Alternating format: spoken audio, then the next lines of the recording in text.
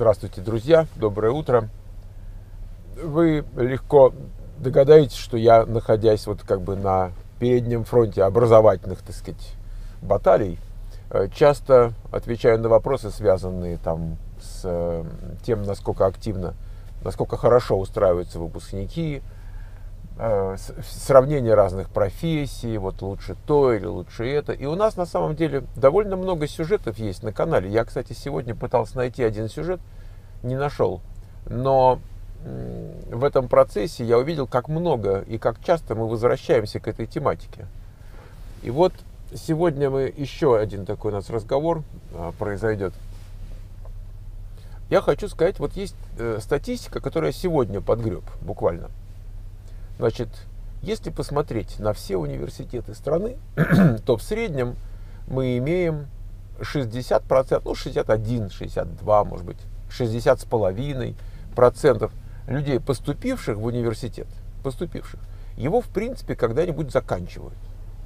То есть 40% вообще его не закончат никогда. То есть они потратят деньги на образование. Даже, скажем, то образование, которое государственное, все равно стоит денег. Они потратят деньги.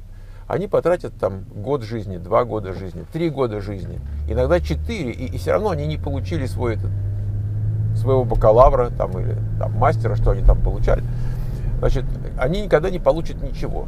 Э, это к вопросу о том, эм, а что люди вообще делают в учебном заведении, что они там вдруг оказываются, какая нелегкая, так сказать, э, можно так сказать, их туда занесла, и насколько это нормально.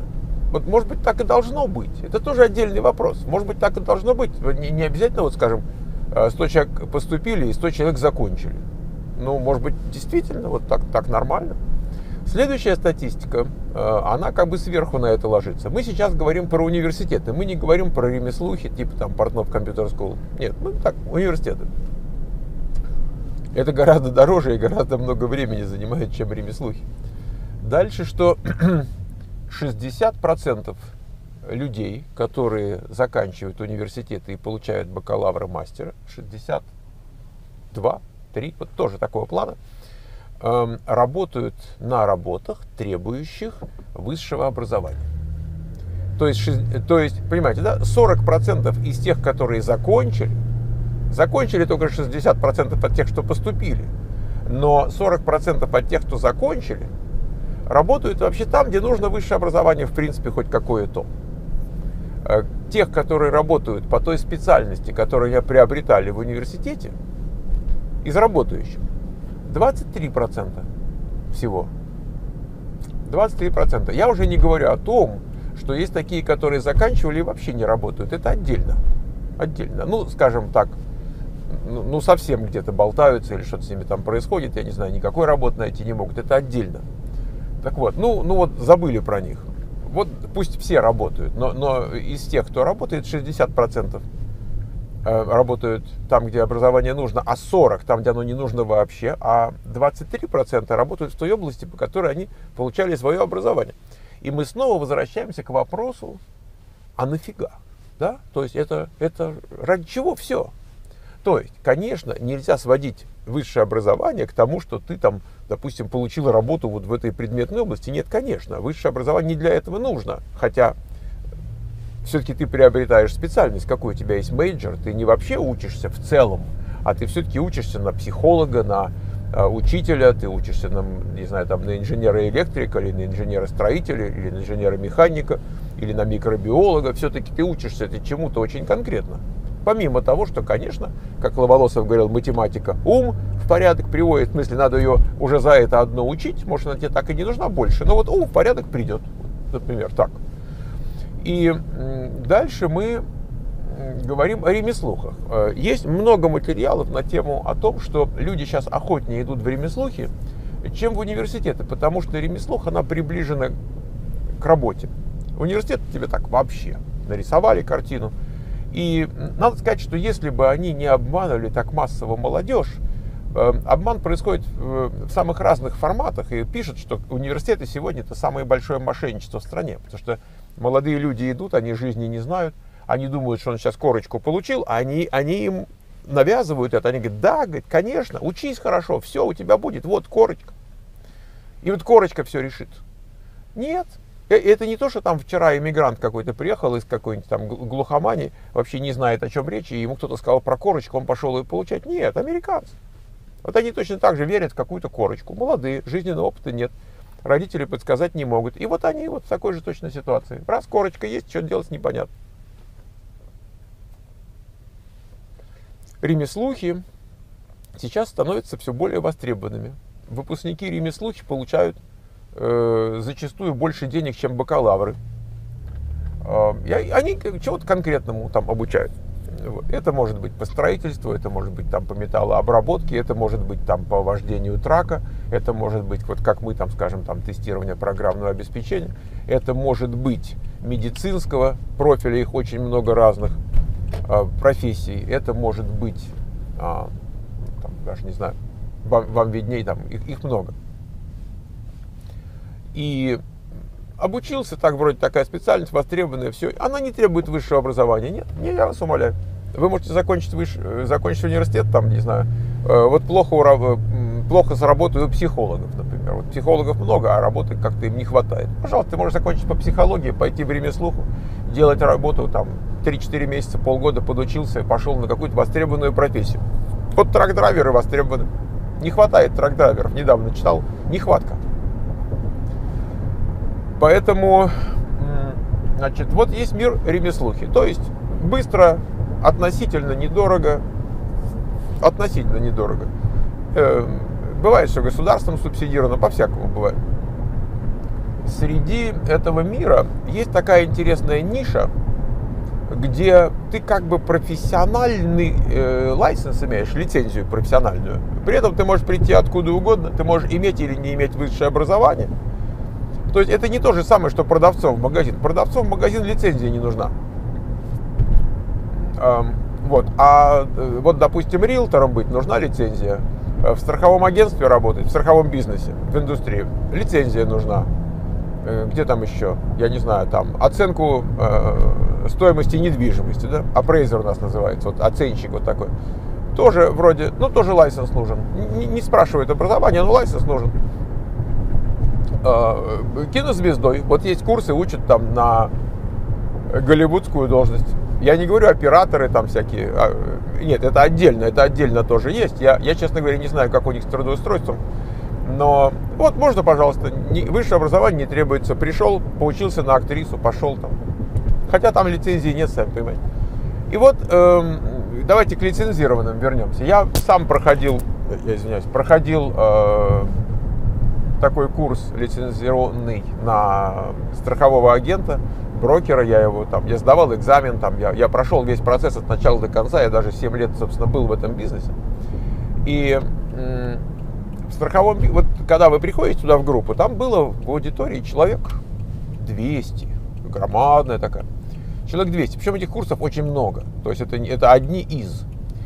Вот. Сейчас, по-моему, стало можно уже не ходить физически на курсы, а как-то онлайн брать. Тогда нужно было присутствовать в то время. Вот я присутствовал. Там было человек 200 народу. И преподаватель такой, пожилой дядька, уже там лет за 70 ему было, он говорит, ну, говорит, мужики, ну, там пацаны больше, там молодняк в основном. И говорит, давайте, кто почему пришел вот сюда? Говорите, вот ты чего пришел? Говорит, Феррари хочу купить. Кто-то ему сказал, жизненного опыта нет, родители подсказать не могут. А, жизнь, э, жизненного опыта нет. Он думает, что в страховом бизнесе у него будет Феррари. Он сейчас заработает на Феррари. Эм, и, а, а ты чего хочешь? А я хочу там дом купить. А ты чего хочешь? А я там хочу иметь много денег, там путешествовать. Или там, э, чтобы девчонки со, там со мной дружили. Короче, приходят люди, полностью э, лишенные малейших представлений о том, что там происходит и что вообще за область такая. И он им говорит, нам всем, он говорит, «Э, запомните, ребята, из вас всех, тут 200 человек сидит, 5% останутся в индустрии страхования. После того, как вы получите лицензию, вы сможете зарабатывать, продвигаться до 5%. Вот была, на то время была такая статистика, видимо, где он ее взял, я не знаю, я, я больше не сталкивался, вот от, от припода вам передаю. Но я могу сказать, что я, э, я-то потом, в общем-то, достаточно успешно развивался, и, я видел, что происходит. То есть на, на тех этапах, на, до которых я добрался в, в карьере, в страховании, там уже из тех, которых отобрала страховая компания Farmers, вот она нас отбирала, там не всех брали, но вот э, из нас отобранных, ну из 20, может быть, двое стали. Двое стали агентами там и так далее. То есть не, немного совсем. Эм, в real estate я не, не проходил эту школу, но я знаю очень много риэлторов. Ну, то есть очень это, это как бы это мягко сказать. Потому что когда ты страхованием занимаешься, ты знаешь очень много риэлторов, потому что когда покупки происходят, значит, кто-то должен страховать, то есть ты знаешь много-много народу. Ну и по жизни тоже. Давно здесь живу, много народу знаю. Много народу знаю, которые с лицензиями риэлторы. Вот резюме ребятам делаю, смотришь там, ну не через одного, ну очень-очень многие у них есть какая-то риэлторская лицензия. Потому что есть такие слухи, бытует, что вот сейчас пошел там, значит, лицензию получил. А дело не хитрое, что страховая лицензия не что риэлторская не что апрейзерская не. Они, они все не хитрые. Там, собственно говоря, делать нечего. Я не знаю, кем надо быть, чтобы эту лицензию не получить. И, ну, то есть шпана откровенная получает. Там, там просто нечего делать ее получить. Серьезно. И и такое рассуждение, вот я слышал это своими, так сказать, э, ушами от человека, который ходил в это время на, на, на курс по, для страховых агентов.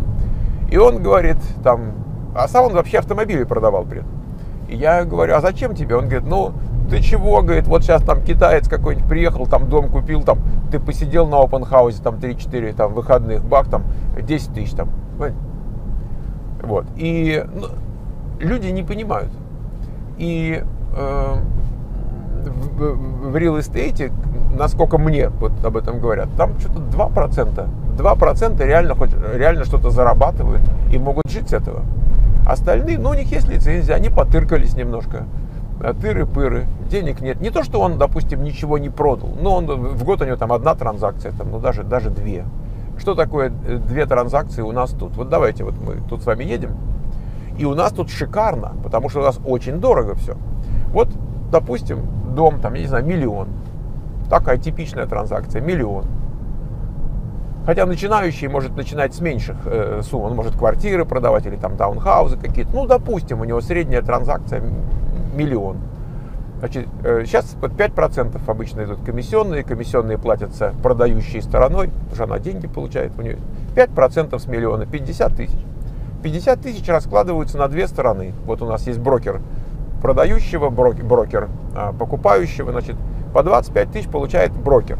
Брокер отдает агенту, который принес бизнес, какую-то часть.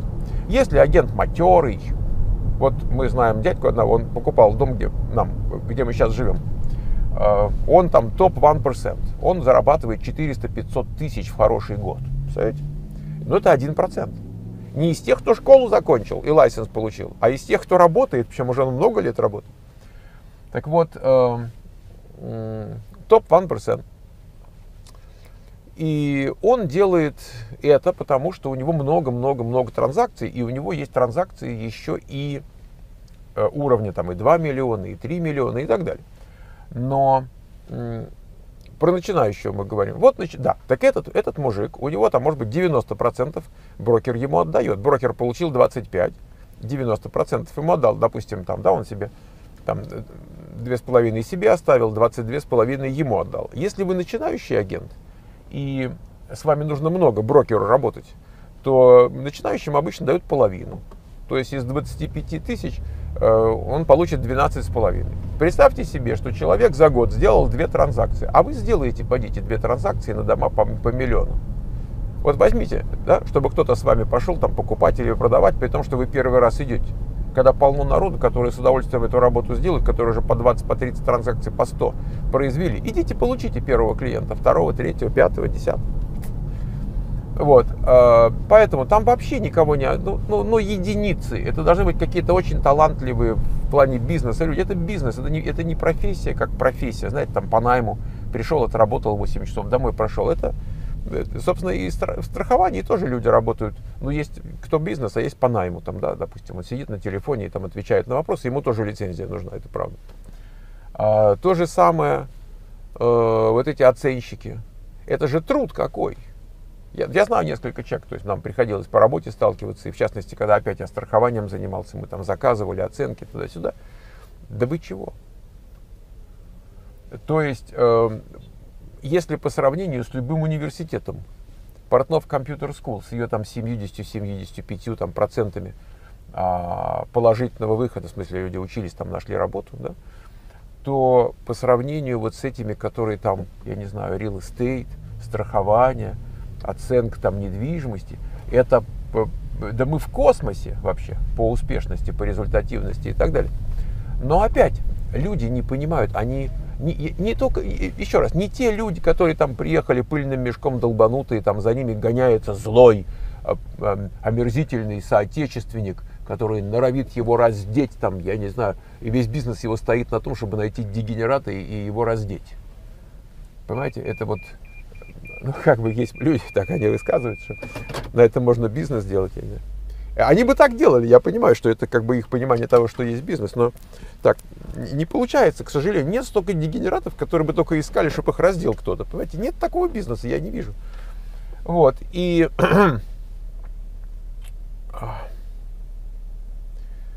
Может, так и должно быть. Я вот еще раз, я возвращаюсь к тому, что, может быть, так и должно быть, что люди, ну, они пошли, они попробовали. На самом деле, а что такое э, страховой лайсенс? Там этот курс стоил, там, я, я не помню, 150-200 долларов. Ну, так я неделю походил, там, экзамен сдал, может быть, тоже что-то заплатил, там, отпечатки пальцев, там. Ну, хорошо. Ну, так это же что, это миллион? Нет. Это что, я в долги влезал? Нет. Ну, в конце концов, ничего страшного.